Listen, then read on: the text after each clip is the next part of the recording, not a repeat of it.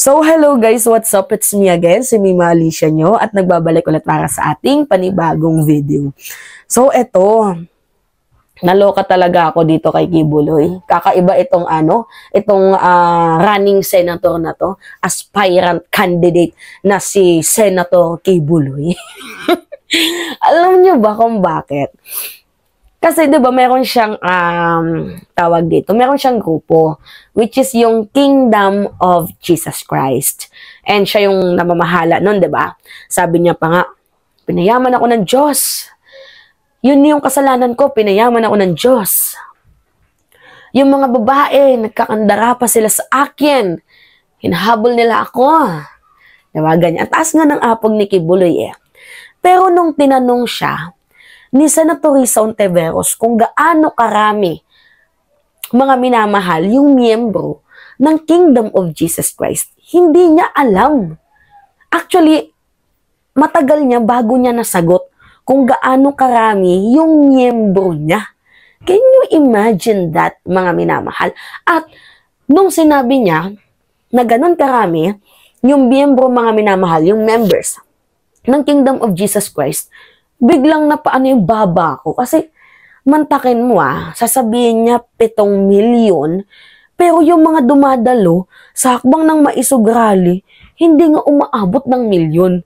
Kung milyon yan, yung supporters sana ni Kibuloy, dapat sana mga minamahal in the first place, napatalsik na nila si PBBM. Siguro may apat na milyon nga lang mag-rally dyan sa ano eh, sa um, Malacanang, mapapatalsik na si PBBM. Kaso, wala naman. Hindi umepekto mga minamahal yung, yung pitong milyon na sinasabi ni Kibuloy at hindi rin ako naniniwala na yung pitong milyon na yun ay nagbibigay dito kay Kibuloy. Kung kaya't kaya niyang makapagpatayo ng napakalaki na parang Philippine Arena, yung kingdom. ba? Diba? Can you imagine that, mga minamahal? Isipin nyo na lang ha, pitong milyon yung kanyang miyembro, pero bilyon-bilyon ang kanyang kinikita. So, nagsimula din yun noong 2016. Grabe mga minamahal. At meron ding naging komento dyan, si Jay Tariela. Kasi totoo nga naman ang sabi ni Jay Tariela. Hindi man lang ba kayo naawa sa mga inabuso? Kung kaya't yung simpatsya ninyo, nandyan sa ano, sa isang taong gumawa ng krimen, kung kaya't ngayon ay nahahatulan, tama naman yung ibinoses ni Jay Tariela Ngunit feeling kong magagalit dito yung mga DDS kasi hindi nila matanggap na itong si Kibuloy ay nasasakdal.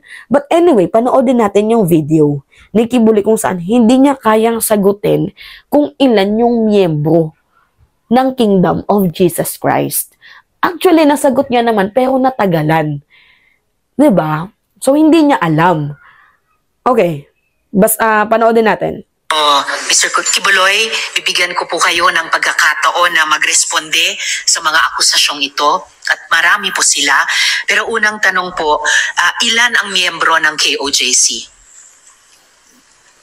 Uh, ah, salamat po, uh, Madam Chair, sa pagkakataong ito na makarap ko ang lahat ng mga nandirito at narinig ko ang kanilang mga testimonya. At uh, Magpasimula po tayo kay um, oh. Miss Valdehuesa.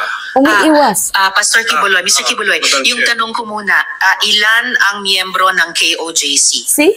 Iwas po, soy? po sa sa tingnan ko po muna ang isa oh.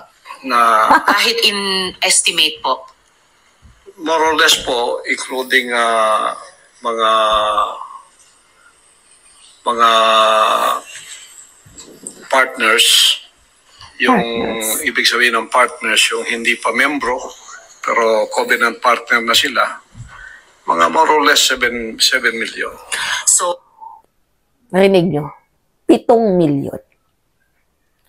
Nakakapagtaka naman, mga minamahal, 7 million yung uh, miyembro ng KOJC pero yung dumadalo sa Liwasang Bonifacio, kahit dyan mismo sa Davao, yung rally nila, hindi naman umaabot ng 7 milyon. nakakapagtaka lang isipin, mga minamahal. Pero, meron akong isang napansin sa pag-uugali ni Pastor Apollo Kibuloy, mga minamahal. Kasi, if we will see, nandoon yung parang nagpapakumbaba siya. Nandoon yung parang pagiging plastic ni Kibuloy. Kasi 'di ba grabe siya kung manlait noon kay Senator Riz Ontiveros na nangangabit daw. Ganon yung panlalait niya kay uh, Senator Riz Ontiveros tapos uh, kahit ano daw kahit mamatay pa daw siya, ay patay na daw siyang mahuhuli. 'Di ba ganon yung sinasabi ni Kibuloy?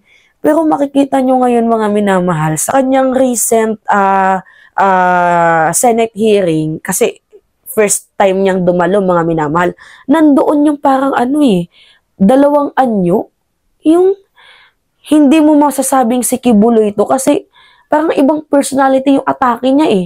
Yung nagbabait-baitan, ano yung gusto mong ipamuka? Sa Pilipino na yung isang pastor inaabuso ng mga politiko nang dahil sa gusto lang magpasikat? I'm just asking, mga minamahal, ganun ba yung gusto mong i-pertain sa mga viewers ha na masama itong si Senator Risa Ontiveros tapos ikaw mabait, ikaw mabuti. Okay? Hindi mo pwedeng itanggi din kibuloy yung ginawa mong uh, panggagahas sa mga abuso sa mga kababaihan lalo pat ang dami nila. Okay lang sana kung isa, dalawa or sige tatlo yung nagreklamo kaso ang dami. 'Di ba? Ano yung sabi ni Chris Aquino? O Kibuloy, bakit puro kababaihan yung mga nandito sa iyo? Noon pa yan napansin ni Chris. Bakit puro kababaihan? 'Di ba? Anyway, may komento diyan si Jay Tariela. As an elected leader and mother, I find it difficult to comprehend how your morals lead you to care for those who were tear cast while obstructing the arrest of Pastor Kibuloy. It's appealing to consider that based on recent testimony in the Senate, rape could be viewed as justified within the context of God ministry in KOJC. Actually nakakalungkot tong ano, tong uh, komento ni ano ni Jay Tariela. Kumbaga din ni-defend niya yung moral values. Kasi sino ba namang puta, mga minamahal, ang isang uh, uh, binigyan na ng sumon para arestuhin, nagtago. Tapos i-defend ng mga DDS na parang patron nila kung ituring itong si Kibuloy kahit mali ang ginagawa niya. 'Di ba? Sinong si, sinong tanga ang nakaisip ng ganun? So itong gawain na to ay hindi talaga katanggap-tanggap at nakakalungkot na yung mga babae is inabuso. Siyempre, 'di ba, mga minamahal itong si Jay Tariela, ano din siya, uh, leader. So nakakalungkot isipin na as a leader, ganyan ba dapat yung ginagawa mo na babuyin mo yung mga nasasakupan mo? So talagang nandoon mga minamahal yung galit din eh ni Jay Tariela dito sa mga uh, nagtatanggol dito kay Kibuloy. Uh, kaya maghanda ka na ba to?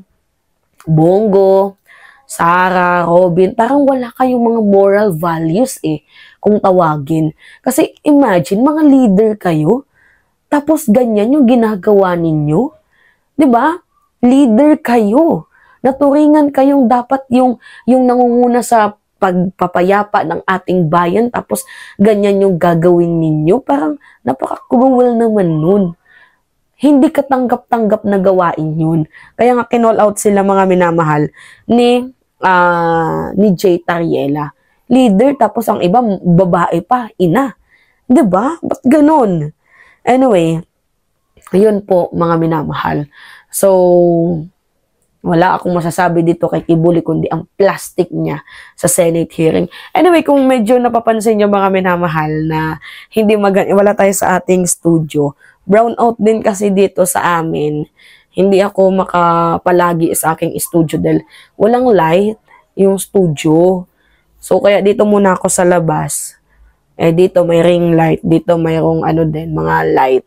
So, dito muna ako nag, ano, nagko-content pansamantala. Kasi, binagyo nga kami ni Bagyong Christine. Signal number 2 kami. Ang taas ng baha din dito sa amin. And sa mga nag-aalala sa akin, mga minamahal, we are safe naman kahit papaano. Anyway, yun po. Ingat mga kababayan.